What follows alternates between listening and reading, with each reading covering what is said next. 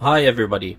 So if you've been wondering which way is best for you to sit your AWS certification exam, whether online or on-premise, then this video is for you. So let's take a look at the factors where online testing outstands. Of course, you will be saving time. You don't need to worry about traffic, transport, and so on, especially if you're someone driving. Therefore, you will definitely save energy. You'll save costs because you don't need to order taxi or an Uber. If you live very, very far from the nearest test center, then your only choice is to take your test online. If you're someone who takes care of a sick person in your household and no one can take your place, then definitely you must take your test online. In this way, in case of any emergency, you will be able to drop everything and go take care of this person. Now, online testing do come with its downsides. You will need to be present in a closed room alone and you are not allowed to leave the space covered by the webcam or the camera you are using. So if you're someone living in a small flat or a small condo, then you may need to discuss it with your roommate in order to be on your own during the testing time. If that's not possible, then you'll definitely need to take it on premise. And Ethernet is highly recommended. So if you're not able to guarantee this, then you may run into some technical issues and also you will be involved in these issues in order to solve it.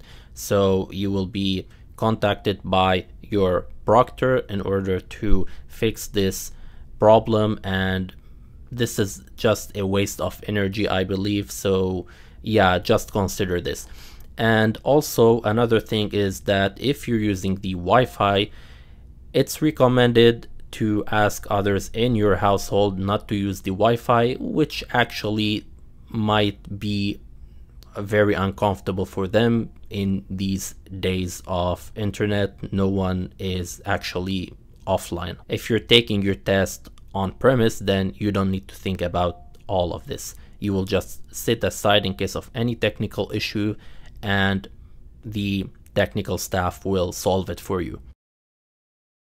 Keep in mind that breaks are not allowed during online testing. So if you're someone who struggles with some issues and you need to go to the toilet frequently, then you should consider taking your test on premise. Although the testing time will not stop, however, you are able to solve your problem. This is mentioned here on the AWS page during testing or test day. Now I will include the link below and you will see it here. So the testing rules, scheduled breaks are not configured for AWS certification exams.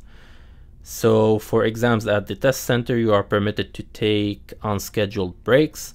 The time of the exam will not stop during an unscheduled break.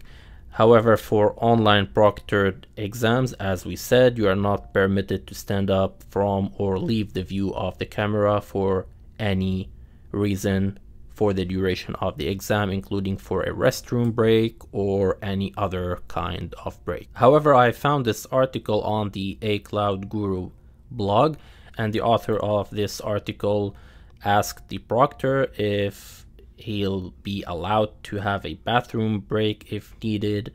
The proctor said yes, but he didn't test this. I will include this link also, so if you want to see more from this article, you can read it. Another advantage of taking your test on premise is to make new friends and colleagues who work in the same field. So I hope this was helpful. Please let me know if you have any questions in the comments and see you in next videos.